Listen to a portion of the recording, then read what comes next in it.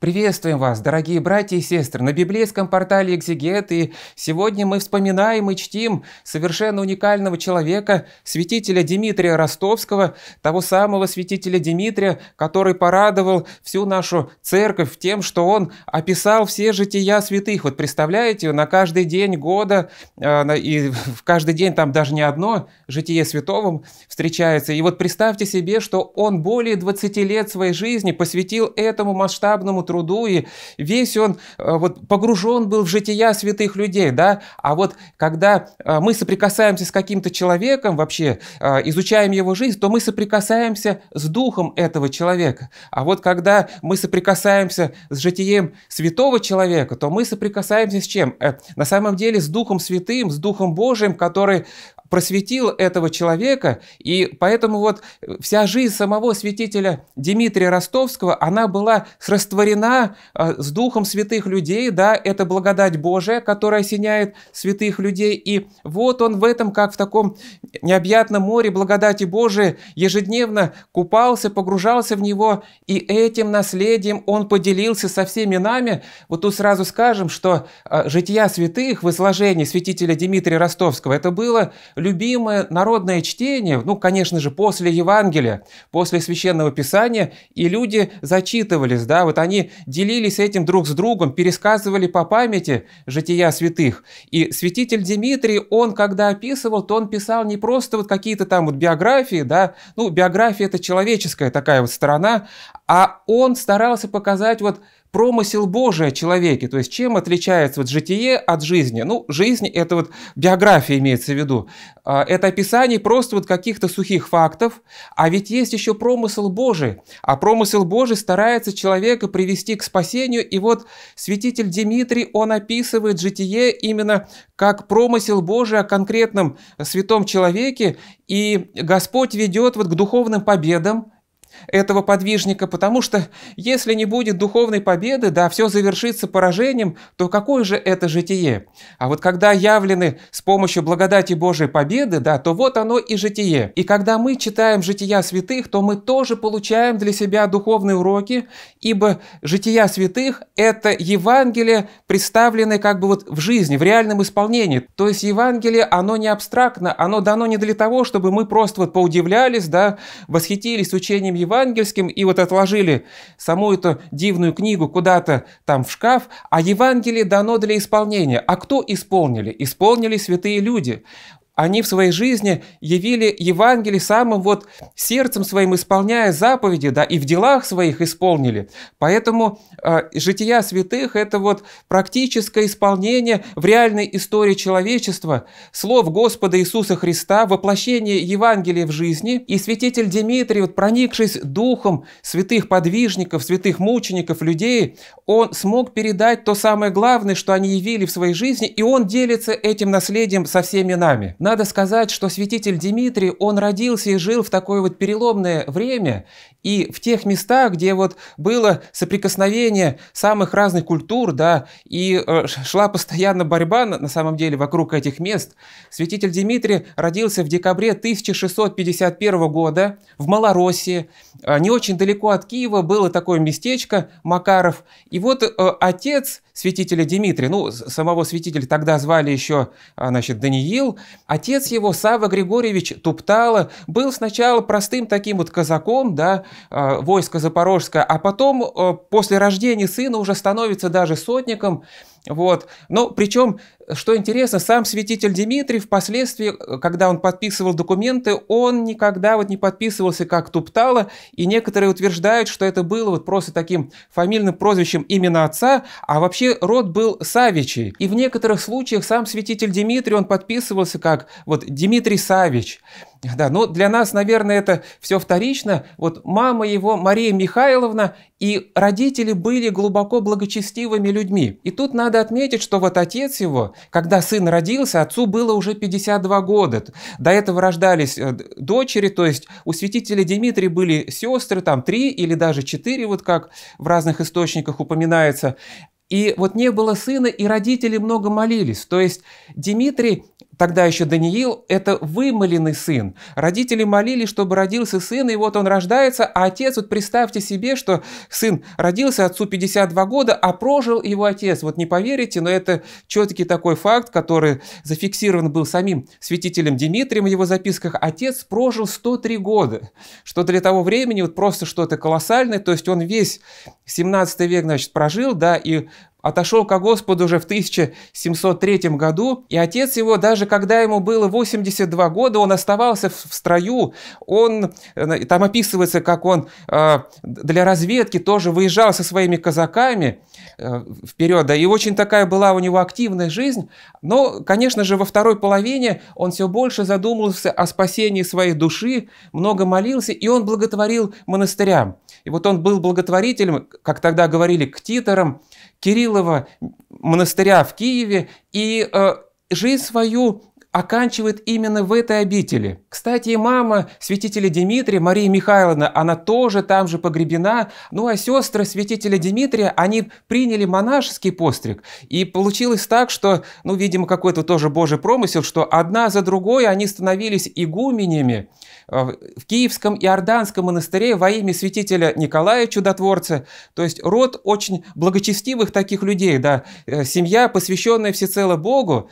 И понятно, что этому благочестию их обучали с самого детства. То есть у святителя Дмитрия были очень благочестивые родители. Еще добавим, братья и сестры, что вот с самого детства святителю Дмитрию прививали любовь к образованию. У него было очень хорошее домашнее образование. И отец привозил с собой книги, сын читал, да, и вот любовь к книжному учению и вообще к книгам, она с самых детских лет в нем жила, в его сердце.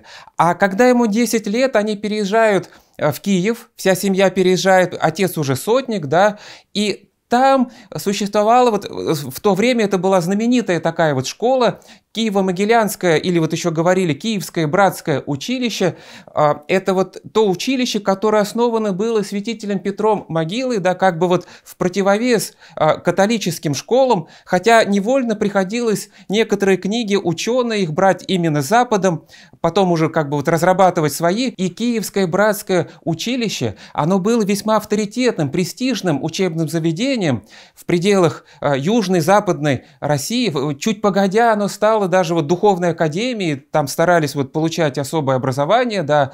И вот, э, значит, святитель Дмитрий, тогда еще Даниил, он там обучается. И в нем раскрываются э, таланты, он становится одним из первых учащихся, причем он не участвует в каких-то там детских вот отроческих шалостях, которые сверстники творят. Он любит сидеть за книгами. Ну и, конечно же, часто стремится в храм. Вот эти две черты святителя Дмитрия с юных лет, то есть книжная ученость и благочестие, желание глубокой сердечной молитвы и в том числе вот, значит, разумное такое познание, познание умное, что и отразилось в его собственных сочинениях. Именно в этом училище святитель Дмитрий овладел искусством оратора, и впоследствии, когда он был знаменитым проповедником, его везде уже приглашали, да, вот всему этому обучился он именно там.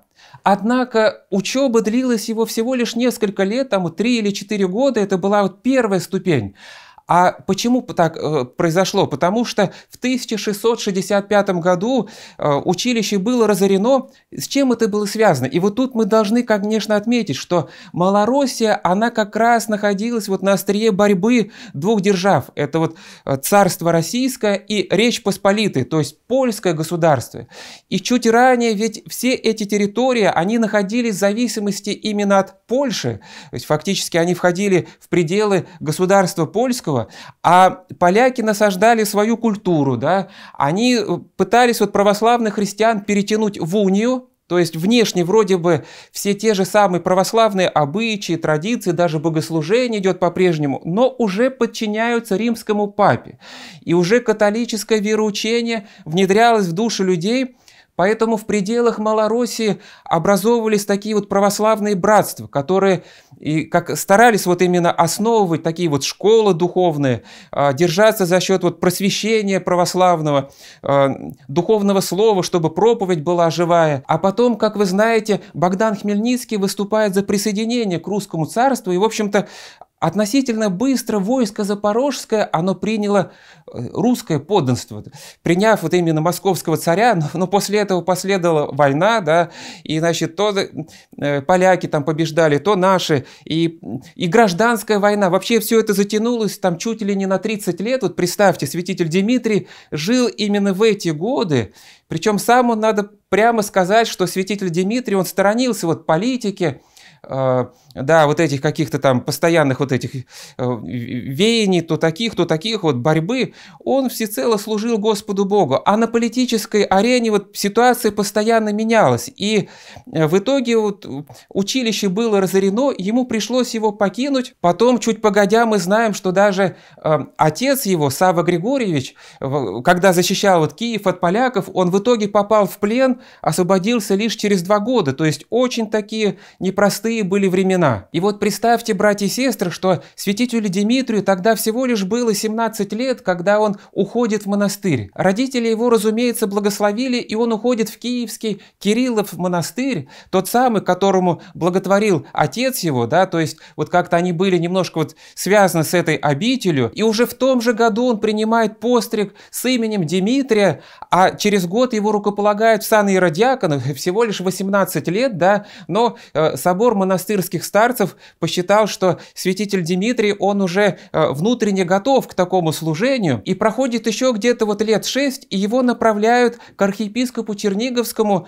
для рукоположения в сан Иерея. Ну, иеромонах, э, иерей из монахов, он иеромонах. В то время Черниговскую кафедру возглавлял архиепископ Лазарь Баранович. Конечно, сейчас э, не всем это имя что-то говорит, а вот святитель Дмитрий отзывался о нем как о столпе церковном, потому что вот в том противостоянии, да, когда Запада шло католическое влияние, и православные они находились вот под постоянным таким вот прессингом. Да, э, архиепископ Лазарь, он выступал как вот исповедник православной веры, и он посвящает в иеромонахи святителя Дмитрия и достаточно быстро приглашает его к себе в епархию, в Черниговскую епархию, в качестве проповедника. Вот а, святому Дмитрию, отметим это, ему именно благословили быть проповедником. Ну, сейчас это кажется вот э, немножко так вот странным, ведь каждый священник, он должен проповедовать и призван к этому. А дело в том, что а, к 16-17 веку сложилась такая немножко грустная традиция, что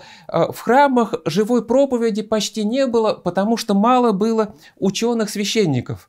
То вот эти вот постоянные, значит, вот нашествия, да, то монголы-татары, там, то вот эти вот Э, войны э, с Польшей, притеснение православных, все это не способствовало развитию православного образования, просвещения, и э, в храмах уже привыкли просто вот зачитывать из книг какие-то поучения.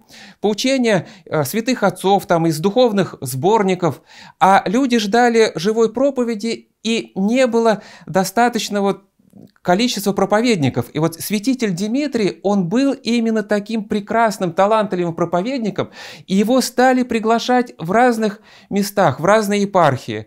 А, православные братства, которые, вот как очаги православной веры в противостоянии с униатами, они э, тоже очень заинтересованы были в появлении вот таких пламенных проповедников, и святителя Дмитрия везде приглашали. Святитель Дмитрий проповедовал и в пределах Польши, и в пределах Литвы. Например, как-то он отправился в Новодворский монастырь, а Новодворский монастырь основан был как раз вот для противодействия унии, которая шла к нам с запада.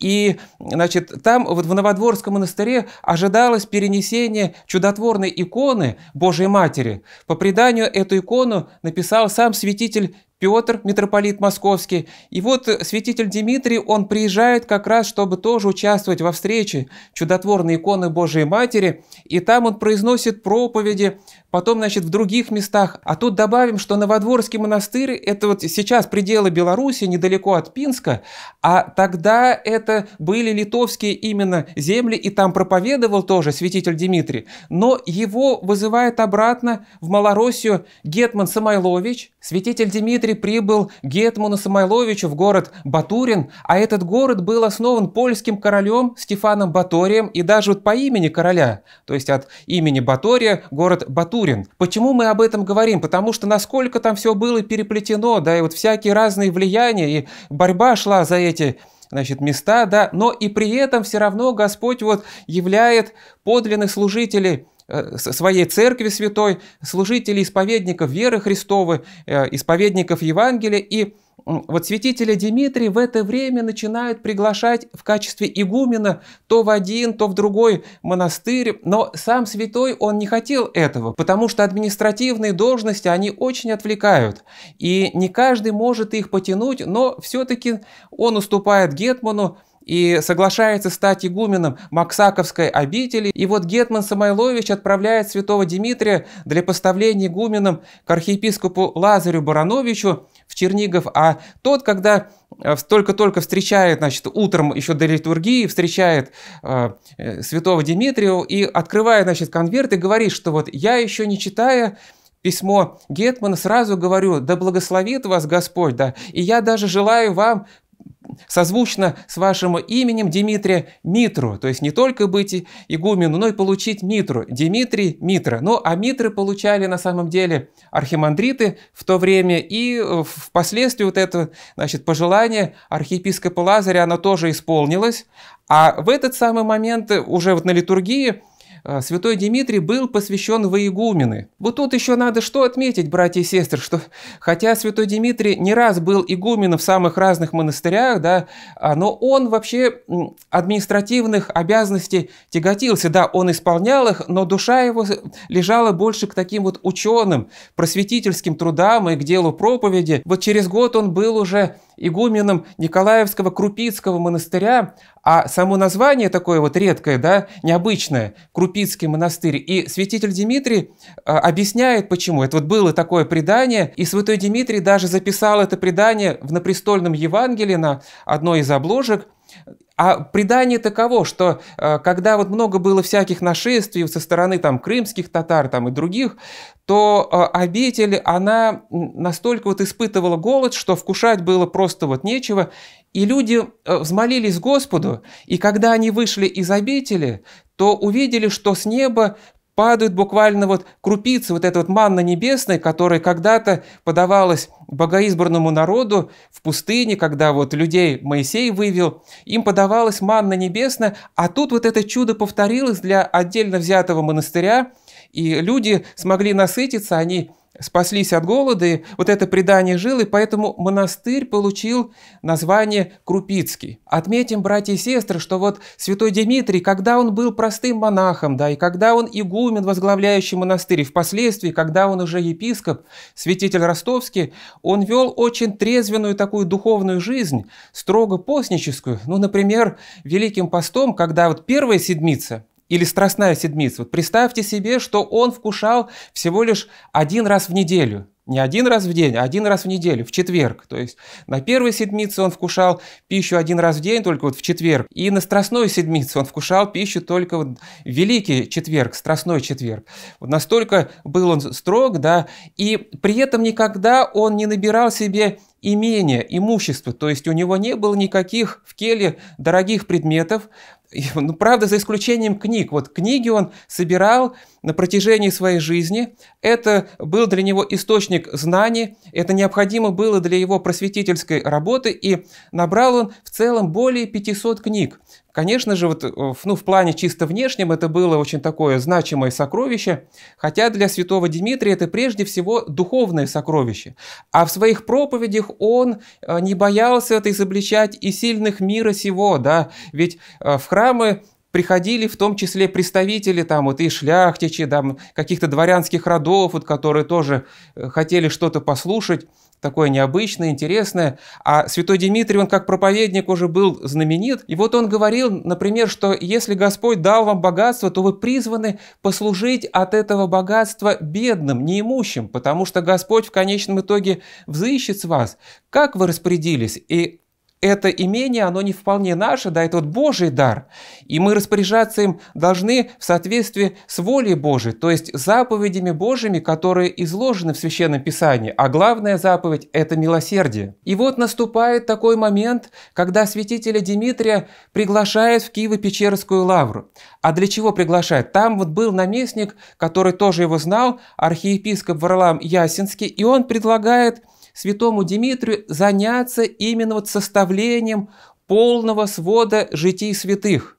Дело в том, что вот на самом деле а, эта задача, она уже была поставлена чуть раньше. И святитель Петр Могила, и другие предстоятели а, Киевской митрополии, и значит, настоятели а, Киево-Печерской лавры, они понимали, что для просвещения людей это имеет ключевое значение.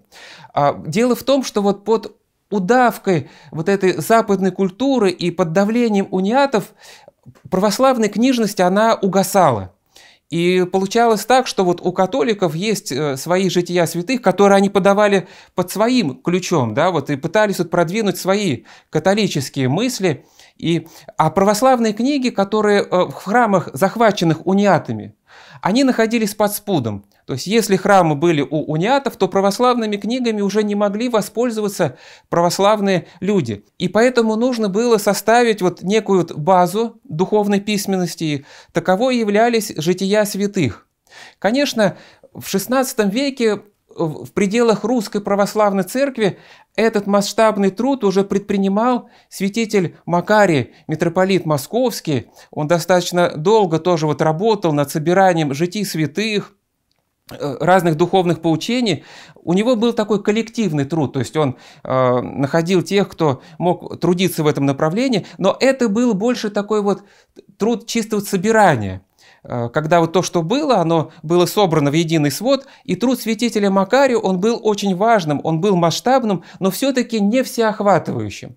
И поэтому через вот столетие, да, а, через столетие с небольшим была поставлена новая такая задача э, составить более полное описание и тщательно это проработать. То есть нужно было изучить вот все жития святых, вот сверить с научными исследованиями, и постараться вот предложить какое-то такое э, оптимальное изложение для простого народа. И если сказать прямо, то никто не мог справиться с этой задачей, и только святителю Дмитрию Ростовскому это пришлось по душе, у него вот в сердце нашелся отклик к этому делу, и он имел такую целеустремленность, что готов был всю свою жизнь положить вот на этот труд. И вот святитель Дмитрий начинает этот масштабный труд, когда ему 33 года, и он начинает в Киево-Печерской лавре, он тщательно прорабатывает источники и э, выписывает книги, ученые книги с разных мест, надо сказать, что из Запада тоже он получал вот некоторые э, такие вот описания житий святых, в том числе числе с научной проработкой, он знал и латинский язык, и польский язык, ну, конечно же, греческий, славянский. Поэтому он подошел к своей работе очень и очень тщательно и аккуратно. Но кроме того, у него иногда были даже такие духовные видения, прозрения. Вот как он сам описывает, что в своем дневнике он рассказывает, что однажды вот он приводит и число там э, в такого-то числа там в понедельник я вот утром услышал благовест к заутренне, но писал он очень смиренно про себя, что по обыкновенной своей лености разоспавшись, не поднялся вовремя и даже вот проспал до чтения кафизмы. Э, то есть чтение псалтыри вот на утренне. И тут вдруг вот я вижу видение, что как некая пещера, где гробницы с мощами святых, и вижу гроб, в котором покоятся мощи великомученицы Варвары. А святой Дмитрий, он имел особую любовь вот к великомученице Варвары, рассматривал ее как свою покровительницу, и у него были даже вот частицы мощей, которые ему когда-то подарили мощь, часть мощей святой великомученицы Варвары. И вот, значит, он э, хотел как бы расчистить гробницу, она немножко прогнила, и когда э, перекладывал мощи, то вдруг увидел, что святая великомученица, она вот как живая, обращается к нему, смотрит на него, и он говорит ей покаянно, «Э, «Святая благодетельница моя Варвара, умоли Бога о грехах моих». И вдруг она ему отвечает, «Не знаю, могу ли умолить, ибо ты молишься по-римски». Ну, тут вот надо, конечно, заметить, что, конечно, когда святой Дмитрий учился вот в этом а, училище Киево-Братском, то там, естественно, были э, некоторые книги, они вот с Запада, да, и, возможно, было какое-то небольшое такое влияние, но сам святой Дмитрий, он объясняет это тем, что а, в тот период вот в ученых трудах он немножко сокращал свое значит, правило молитвенное, и он так пишет, что вот это, видимо, сказано было мне, потому что я мало молился, э, так же, как вот и католики, они э, очень небольшим молитвенным правилом обращаются к Богу. Ну, в общем-то, действительно, если сравнить наши всеночные продолжительные, да, и даже вот литургии, которые очень долго длятся, или э, сравнить их с мессой католической, то явно у католиков все намного быстрее, и э, когда вот великомученица Варвара как бы вот так укорила, то он э, со страхом стоял, и тут она, говорит, улыбнулась и стала произносить вот теплые слова, сказала вот «не бойся», и другие еще какие-то утешительные слова ему произносила. И, в общем, у него на душе уже было такое благодатное утешение. А прошло где-то вот месяца 3-4, и уже это вот был рождественский пост, э, Святой Дмитрий только-только, значит, э, описал страдания мученика ареста, э, и оставался вот буквально час где-то до, до утренней. То есть, представляете, он в ночь трудился, вот час до утренней, и он прилег, немножко вот отдохнуть, вот как был в одежде, и тут вдруг видит, как является ему сам мученик арест, смотрит на него, ну причем с радостным таким лицом, но и в каком-то смысле тоже укоряет святого Дмитрия и говорит ему, посмотри, я больше пострадал, нежели ты описал. И тут вдруг показывает ему правый бок, там рана, и говорит, сие железо мне прожжено, то есть вот железо, которое было раскалено у мучителей вот этих, да, и они приложили к его боку и даже внутрь это проникло. Потом, значит, показывает ему правую руку, и на сгибе локтя там перерезаны, даже сухожилия видны, говорит, что вот сие мне перерезано. Потом показывает на, на левую руку, и сие мне перерезано. Потом на, на ногах своих показывает, тоже на сгибах колен, там, значит, э, тоже у него раны, он говорит, а сие э, косою мне пересечено. Вот видишь, я больше пострадал, нежели ты описал. Получается, святой Дмитрий, он опирался вот на какие-то литературные источники, но все литературные источники, они очень и очень недостаточны. А святые на самом деле, может быть, они претерпели больше, и вот в таком духовном видении было открыто святому Дмитрию. А тут, значит, он думает, э, какой же это арест? Может быть, он из числа пяточисленных? Ну, там были еще вот э, пять мучеников, среди которых тоже э, мученик с таким же именем арест. И вдруг вот этот угодник Божий, который ему явился, прямо ему на его мысли отвечает, нет, я не тот арест, который от числа пяточисленных, я тот арест, житие которого ты сегодня и страдания которого ты сегодня записал. Ну и святой Дмитрий говорит, что за ним стоял еще какой-то вот э, муж, тоже какой-то вот мученик, и я хотел было обратить на него внимание, он ничего не говорил, но тут вдруг раздался благовест, колокола ударили к службе, и я от этого видения очнулся. Конечно, такие видения, они, они были исключительные и очень-очень редко, но, но получается так, что святой Дмитрий, вот он настолько душой своей погружался в эту сферу житий святых, их страданий, мучений, что иногда даже сами святые ему подсказывали. Но, конечно, работа над житиями святых, она шла очень и очень нелегко, с огромным напряжением сил, да, и были свои вот нерешенные вопросы, нерешенные задачи.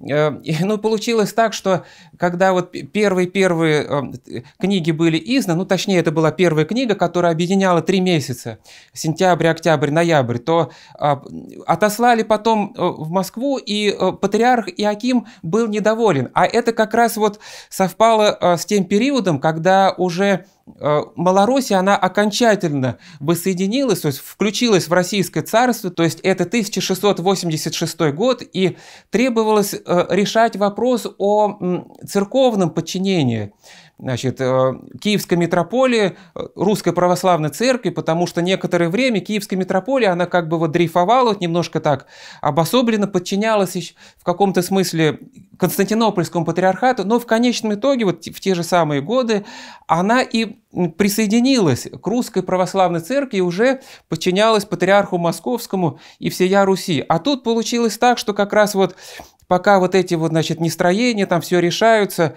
а малороссийские архиепископы, они не очень хотели вот подчиняться московскому патриарху. Ну, это вот историческая правда, то есть было такое. Потом, правда, стали, все равно включились значит, в состав Русской Православной Церкви. А тут, пока вот они не хотели подчиняться, то они обособленно издали вот эту первую книгу, первую часть житий святых на три месяца.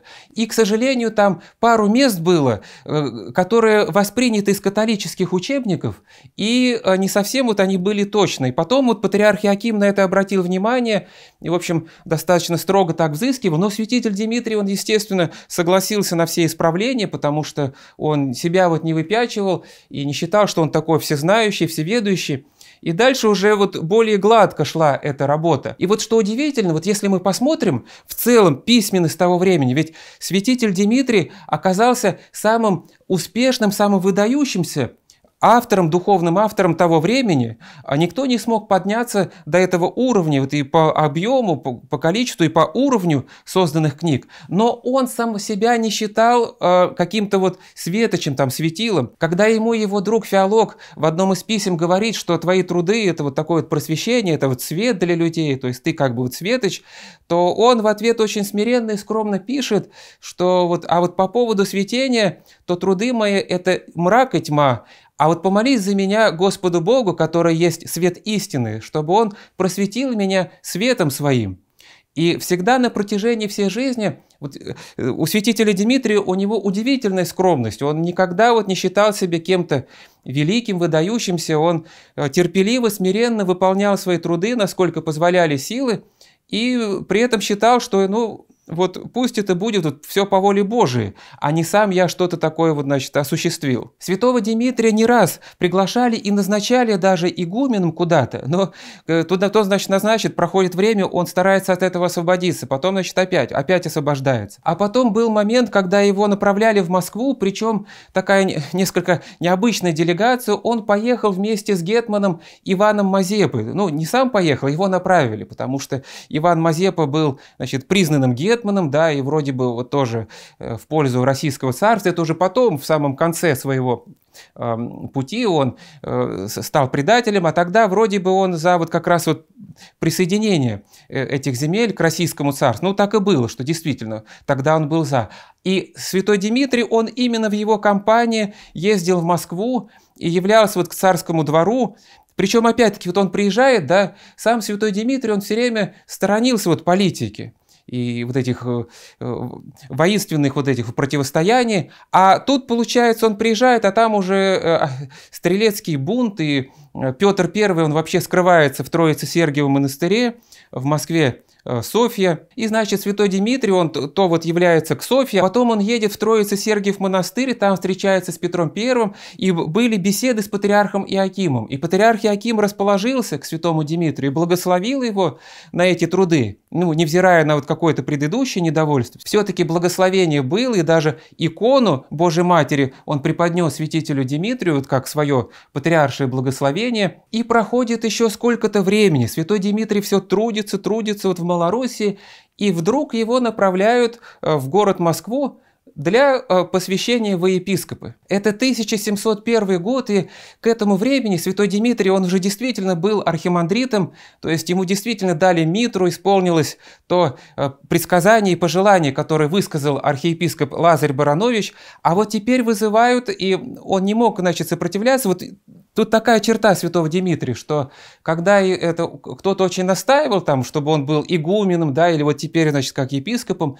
то он э, как-то вот не очень сопротивлялся, он, может быть, считал, что это вот воля Божия, промысел Божий, а потом вот от игуменства часто отходил ради ученых трудов, потому что, ну, административные дела они просто засасывали.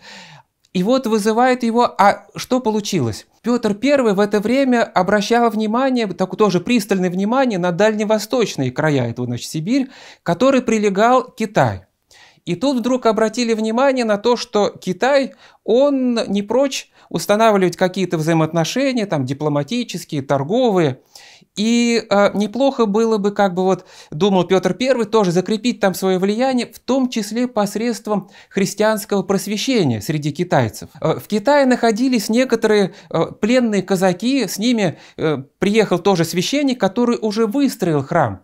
И вот подумали, что надо бы туда вот отправить епископа, который просвещал бы вот не только сибирские народы, но и самих китайцев. И долго думали, кого туда направить. И вот как Петр I писал, обращаясь в сибирское ведомство, он давал такой приказ, что надо просвещать китайцев в христианской вере очень осторожно, со смотрительностью, чтобы, значит, вот не вести китайских начальников в злобу, да, ну и в том числе не раздражать вот иезуитов, которые там тоже находились. И для этого он говорил, нужно послать епископа не столько вот ученого, ну, епископа и попов, не, не столько ученых, сколько э, сообразительных и покладистых. То есть не тех, которые слишком там в книжной учености пребывают, а таких, которые имеют жизненную смекалку и э, покладистый вот характером и знает вот как правильно а, конкретно вот с людьми работать, чтобы никого не настроить против себя. То есть во всем этом был в том числе такой э, дипломатический подтекст. Ну и когда стали все это смотреть, вот Петр обратил внимание на малороссийское духовенство, потому что там многие были образованы. И из этого духовенства отправляется как раз святой Дмитрий и был там еще один кандидат. И вот когда они приезжают, то именно святому Дмитрию предлагается стать митрополитом Тобольским. То есть тот, который вот именно главный в Сибири, но с тем расчетом, что будет просвещать, значит, вот и китайцев. И вот святого Дмитрия рукополагают во епископы. И вроде бы надо бы ему отправляться, но тут вдруг все планы сбиваются. Святой Дмитрий разболелся. На самом деле-то он ехать туда и не очень-то хотел, а представьте, вот в то время вот эти вот тысячи километров на Дальний Восток, вот, ну как, э, тогда все-таки это действительно очень-очень дальний был Восток, сибирские края, да еще плюс в Китае, вот изучать еще, значит, и китайский язык, и тогда просто вот рухнет главное дело жизни святого Дмитрия – написание житий святых. И каким-то образом вот промысел Божий так все повернул, что святой Дмитрий, он уже и епископ, но в то же время он не поехал в этот отдаленный город Тобольск, вместо него поехал святитель Филофей Лещинский. А Петр I, когда вот он навестил значит, самого святого Дмитрия, видел, что действительно здоровье у него слабое, и такой план он никак не реализуем, то он позволил ему дождаться вот какой-нибудь кафедры поближе к Москве, и через небольшое время как раз вот умирает предстоятель ростовской кафедры, кафедры епископской в городе Ростове Великом, и вот туда-то святой Дмитрий и назначается как правящий архиерей. Святой Дмитрий прибыл в Ростов в 1702 году, и первым делом он, э, как только вот приехал, он зашел в Спасо-Яковлев монастырь, и приходит в собор, и там, значит, молебен служить, и вот вдруг он показывает на правый угол собора и говорит «Се покой мой, здесь вселюся век века». Вот как бы он прозрел, что это будет место его будущего упокоения, и люди это запомнили, потом действительно именно там его и похоронили. И вот семь лет он совершал свое епископское служение. И он в первой же проповеди обозначил смысл своего служения. Он сказал, что я пришел не для того, чтобы мне послужили, да, а Э, для того, чтобы вам послужить для общего спасения. Святой Дмитрий поддерживал неимущих, страждущих людей и устраивал бесплатные трапезы для таковых. И вот когда он видел, что собираются там и калеки, да, и какие-то увечные, э, страждущие люди, то он говорил, что это для него самого пример терпения, что вот люди терпят такие беды и все равно всецело доверяются Господу Богу.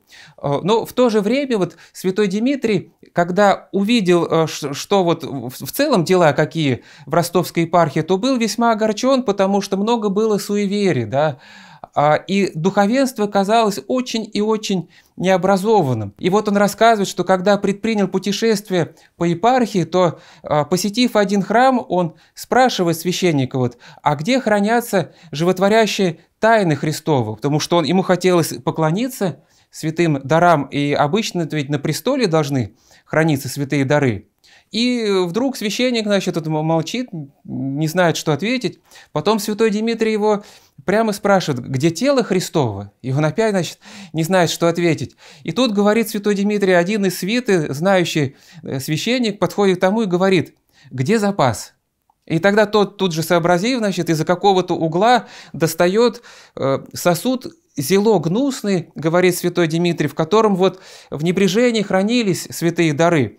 И я, говорит, возболезновах и огорчихся сердцем моим. То есть святой Дмитрий, конечно, очень переживал, что люди вот настолько неблагоговейны к святым дарам, и он очень много проповедовал на эту тему, что должно быть благоговение, да, и чтобы люди понимали, значение святых тайн и вообще э, христианских истин, он старался просвещать людей. Он обратил внимание на то, что вот в семьях священников э, отцы, то есть э, сами священники, они недостаточно детей своих обучали вере и говорит, что, э, ну, делится таким вот наблюдением, что когда приходили сыновья а, э, священников, чтобы э, быть посвящаемыми на места отцов своих. Это вот была такая традиция в синодальный период сложилась, что э, когда вот умирал, значит, отец священник, то на его место сын заступал и получал как бы вот это вот место. И вот тут, значит, они приходили, сыновья, да, и святой Дмитрий спрашивал, а когда вы в последний раз причащались?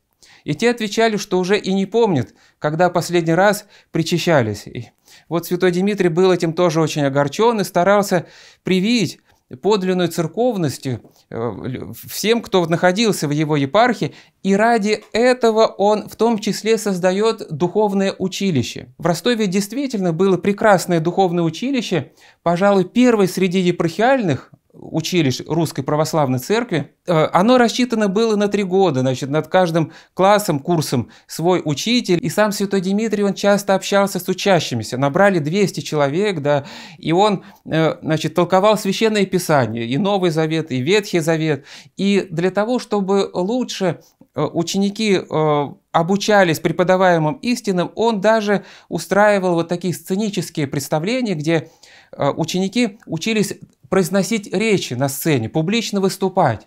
И сам святой Дмитрий, он даже написал вот некоторые э, пьесы, посвященные тем или иным событиям церковного года, например, Рождеству Христову и там другим тоже праздникам. То есть это была очень такая разносторонняя образовательная деятельность, но, к великому сожалению, всего лишь три года продержалось это училище, потому что не было вот средств. И святой Дмитрий, он свои средства отдавал, а э, от монастырского приказа трудно было получить необходимое содержание. Святой Дмитрий очень много полемизировал с расколом, и были вот представители раскольников, которые здесь вот возвышали свой голос и смысл-то в чем? Вот противостояние, что э, старобрядцы, они делали вот э, акцент именно на спасительности вот самих обрядов. Тогда как обряды – это исторические одежды церкви. Это вот то, во что церковь облачается в тот или иной период.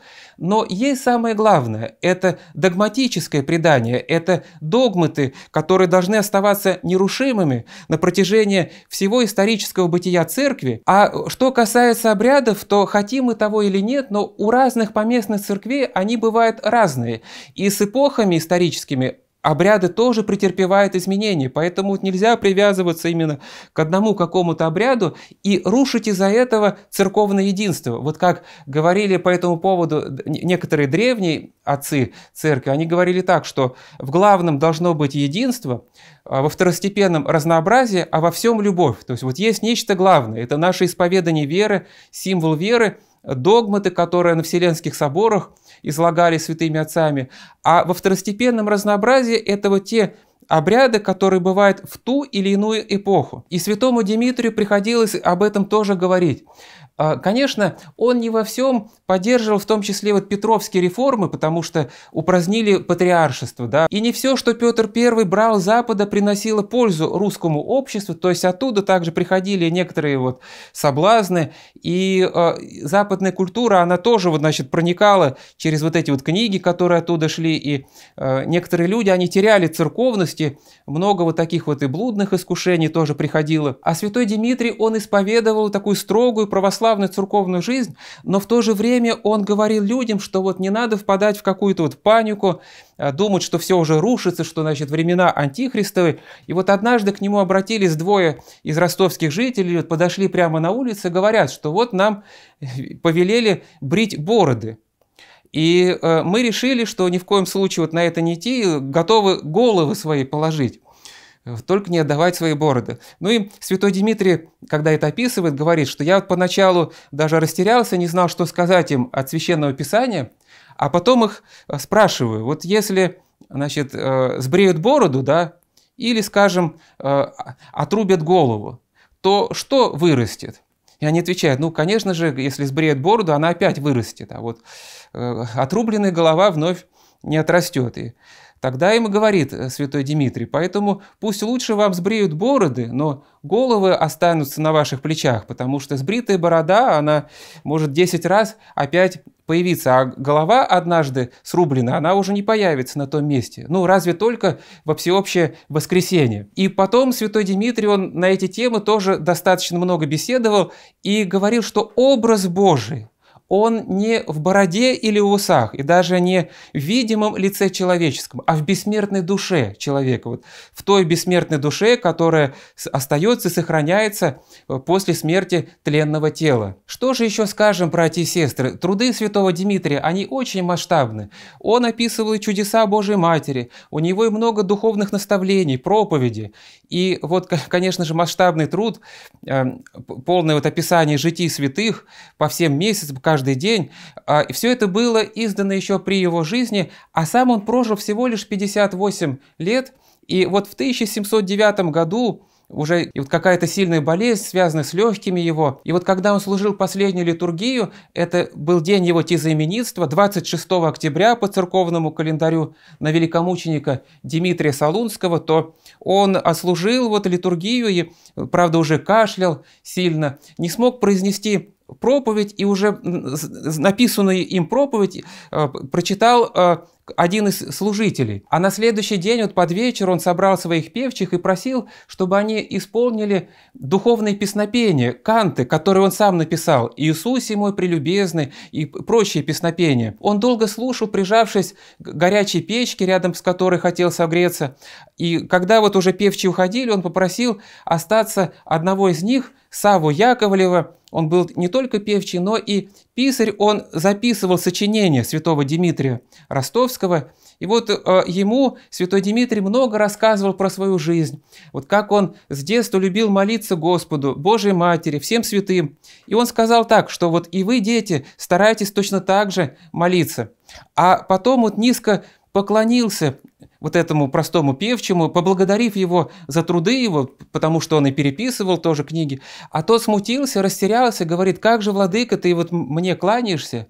Но святой Дмитрий также кротко ему говорит, благодарю тебя, чадо мое. И вот он остался один и молился в ночь. И вот именно во время этой молитвы а, молитвенно преклонившись перед Господом, он и расстался с телом. Его душа перешла в иной мир, чтобы быть вместе с Господом и вместе со святыми, жизнь которых он очень тщательно и подробно описывал. Тело святого Дмитрия так и похоронили в соборе Свято-Яковлева монастыря, как он завещал, а на отпевание приехал э, митрополит Стефан Еворский, друг его, и во время отпевания он часто повторял «Свят Дмитрий, свят».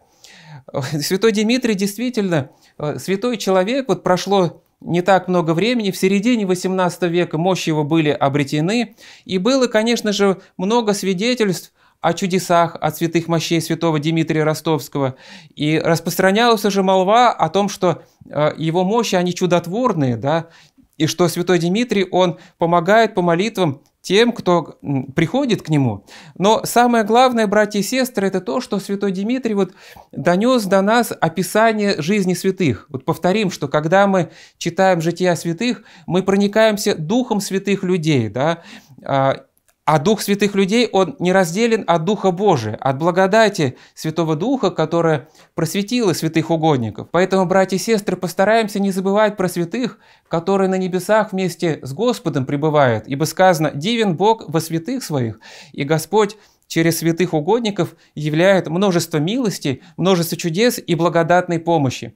А святому Дмитрию Ростовскому с благодарной такой вот молитвой обратимся и попросим его ходатайствовать о нас пред престолом всемогущего Господа, чтобы и нам тоже шествовать по вот этому вот пути, по которому шествуют подлинные а, служители Христовы, святые угодники, и чтобы нам тоже сподобиться благодатных даров от Господа. Святителю очи Дмитрия, моли Бога о нас. Внеси свой вклад, оцени, подпишись и поделись этим видео.